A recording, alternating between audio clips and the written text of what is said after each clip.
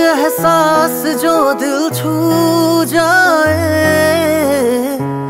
एक लम्हात जो हम जी जाए, एक एहसास जो दिल छू जाए, एक लम्हात